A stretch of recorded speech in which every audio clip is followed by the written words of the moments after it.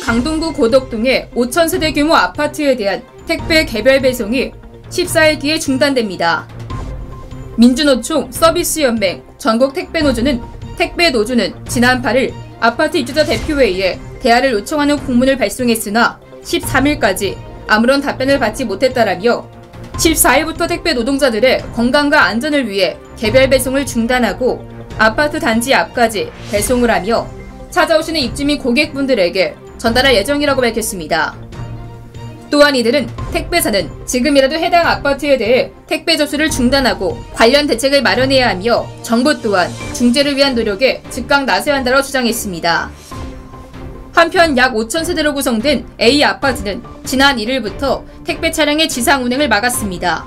지하 주차장 입구가 택배 차량보다 낮아 지상으로 출입하는 차량이 많아지자 아이들이 위험하다는 이유에서입니다. 이에 택배 노조는 아파트 조치와 요구 사항은 택배 노동자에게 모든 책임을 전가하는 갑질이라며 지적했습니다.